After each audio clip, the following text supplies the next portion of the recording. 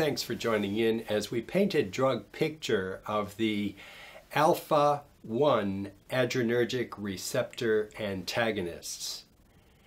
Prazosin, doxazosin, and other drugs that end in the OSIN affix are alpha 1 adrenergic receptor antagonists or blockers.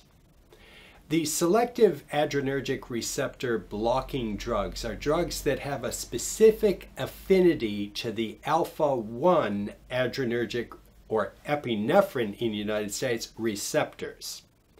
So we are blocking the effect of adrenaline in the organs that have alpha 1 receptors. The main organs that have alpha 1 receptors are the prostate and the peripheral blood vessels. And therefore, these drugs are primarily used in the treatment of benign prostatic hyperplasia and in the treatment of hypertension. And they're best placed in people who have both conditions simultaneously. Let's take a look at these drugs a little bit closer. The alpha 1 receptors are located primarily in the smooth muscle receptors of the prostate and in the smooth muscle receptors of the peripheral blood vessels. By saying peripheral blood vessels, we mean the blood vessels to the skin, the extremities, and the peripheral organs, including the GIT. In a fight or flight response, adrenaline or epinephrine in the United States binds to the muscles of the blood vessels and constricts them. We do that because we need to run away. This is a fight or flight response. And we're closing off the blood to the periphery so that we save the blood for the big muscles that are going to be used to run away and for the heart, the lungs, and the brain. So, prazosin, doxazosin, and other OSIN medications dilate the peripheral blood vessels, resulting in not only the desired effect of decreased blood pressure, but it can also result in hypotension, orthostatic hypotension, headaches, nasal congestion, and dizziness.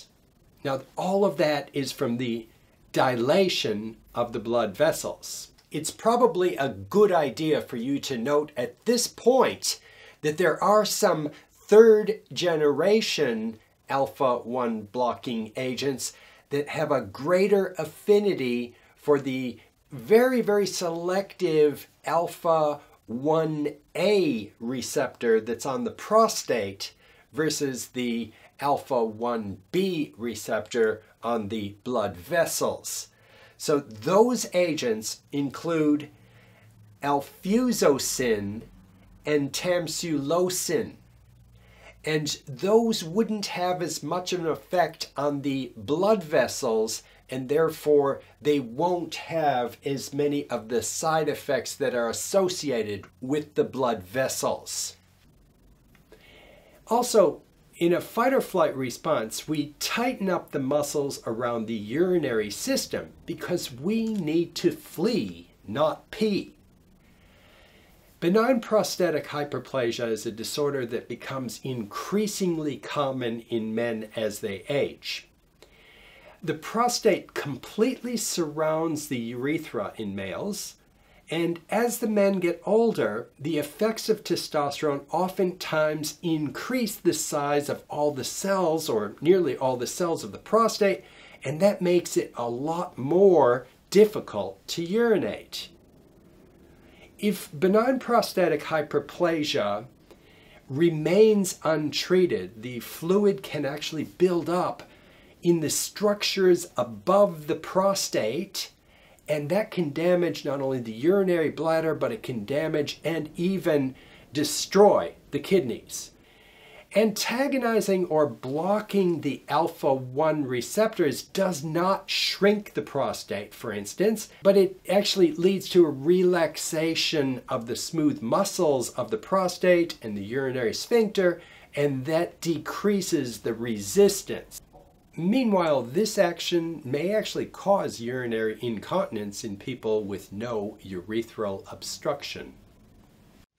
Prazosin Doxazosin and other drugs that end in the OSIN affix are not the first line treatment for hypertension or for benign prostatic hyperplasia.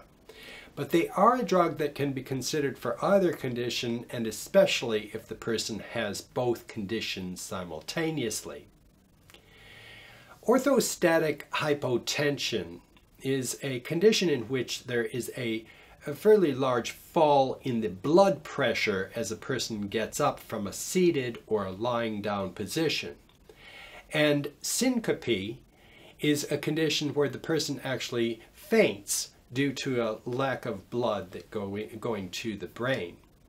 And either of those conditions can occur with prazosin and doxazosin. So it's important to instruct the person taking those medications to get up very, very slowly to get their balance before they start moving.